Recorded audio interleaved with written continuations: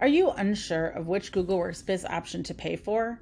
Standard and Starter seem similar, so why would you pay twice as much? Especially for those people just starting their business, Starter seems like the logical choice. But there are definitely perks you get in Business Standard that are worth the extra $6 a month. Watch until the end to learn about the perks in Gmail, Drive, and Calendar that I believe are totally worth this extra $6 per month. Hello, I'm Amy Novick, a professional organizer, Google certified trainer, and productivity specialist. I empower business owners with Google solutions. Every week I hear, I didn't know Google could do that. Let me know in the comments below what things you want Google to be able to do for you. In the starter business package, for $6 per month per user, you get 30 gigs of storage per user, as many users as you want. It's connected to your domain name, and you get all the apps associated with any Google account. In addition, you can add on a Google Voice phone number for your business for $10 per month. In Business Standard, for $12 per month per user, you can again have as many users as you want you get two terabytes of storage per user that is shared among all users. And again, all the apps that are associated with it. Plus, you can add Google Voice for $20 per month for one line. In addition, I'm about to tell you about six perks of Google Business Standard. Two perks in each of three apps Gmail, Drive, and Calendar. In your Gmail, when you compose a new message in Google Business Standard, you get a new button down at the bottom called Layout. When you choose that, you can have many layouts for an email template that you would like. So, whether it's a call to action, simple text, an announcement, a newsletter, new service, or referral, you have two different options.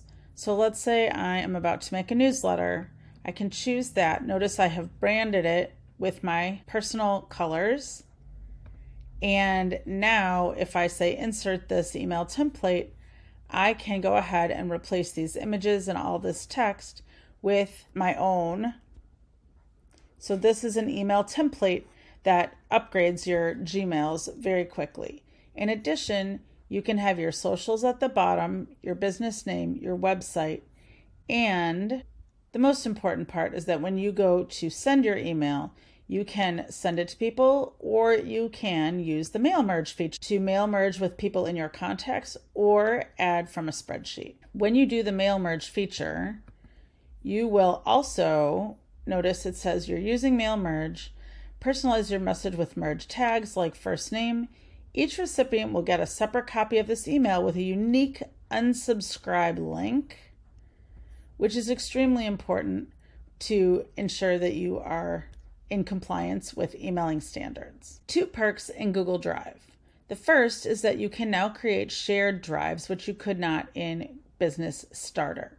So, shared drives are a separate drive other than My Drive, and it is a place for pooled storage, pooled documents, things shared among everybody in your domain in your Google Workspace. So if you have an assistant, you can work with them in a shared drive. The most important thing to remember about shared drives is that the drive itself owns the files, which means that it's not the individual that created it, but instead it is the company drive that owns the files. So this is very helpful if you're working with contractors, people that come in and out a lot. The files that they create in there stay with the company and are owned by the drive, not by the person. Another perk to Google Business Standard is that when you create documents or sheets or slides or forms, you can not only create from a blank document, but in all Gmail accounts, there are templates available. But I will show you these general templates and template gallery is already included all the time, but you can make your own company gallery of things with your letterhead, templated documents that you use all the time, and so forth. So this template gallery, and you can create a new one and submit a template, is another perk to Google Business Standard. I'd like to show you two perks of Google Calendar in Google Business Standard. The first is time insights on your calendar. So this is one calendar, and if I use color coding to change the color of my events, I can actually label them. And when I make a meeting with that label, then Google calculates for me how many hours I have spent on each thing this week. If I click more insights, I get an actual graph over here. How many hours on my Google clients, tentative things, marketing and social media, clients, leads, working on my YouTube videos, etc. And it breaks it down. Also, time in meetings. If I look at a whole month, now it's showing me November 1 through 30th and how much I spent on each type of work. For those of us who are tracking our time, this is a huge time saver and a very big efficiency for KPIs.